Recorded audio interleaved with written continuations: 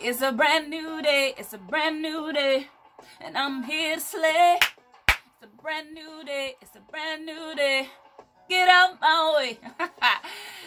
Listen, some of y'all need to find the sizzle of life. I love the smell of fresh possibilities in the air. Brand new day. Ha! Benjamin Franklin said, energy and persistence conquer all things. You've got to become an attraction magnet for opportunities, for possibilities. Many of you are giving off block signs. You say you want a relationship, but you're constantly blocking with your bad attitude. You say you want more money, but you never give it away. So stingy. Listen, you become the very thing you desire to attract. And that's intentionality. That's designing your future life. I think about Abraham. God told Abraham in Genesis 13 and 7, He said, Listen, I want you to do some reconnaissance. Arise, that was step one. Get up. Get up in your thoughts. Elevate your thinking. Arise. Walk through the land, through the length of it and the breadth of it and I will give it to you. See, there are some individuals that think they're doing something, closing doors, but where my faith lives is he opens doors that no man can shut. You don't have that kind of power, honey. you just don't.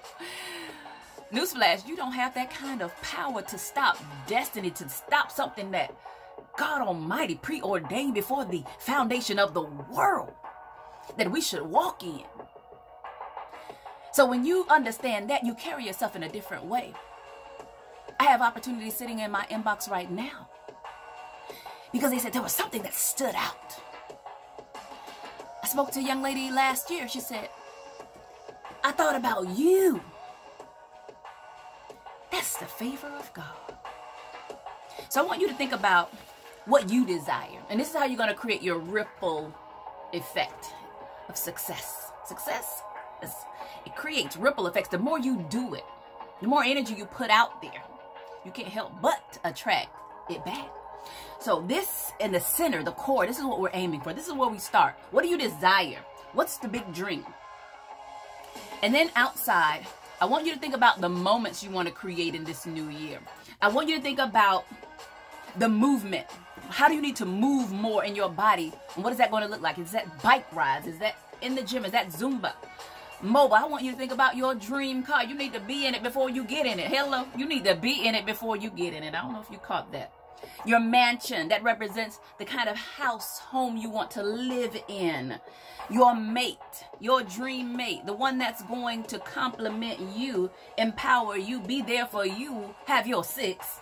Money, what kind of money are you going to be making? That mega money. I know you're going to be making that mega money. Mentors, who do you want to be in in your presence? And who do you want to glean from and learn from? You need to have somebody in your ear because we all have blind spots and the mindset. What kind of mindset do you need to possess to be able to possess what you desire? By energy and persistence, you can conquer all things. No more hiding, no more sliding and gliding, letting opportunities pass you by. Hey. Oh, yeah. It's a brand new day. Ha! Hey, making mega money. Gosh, I love life and I love you.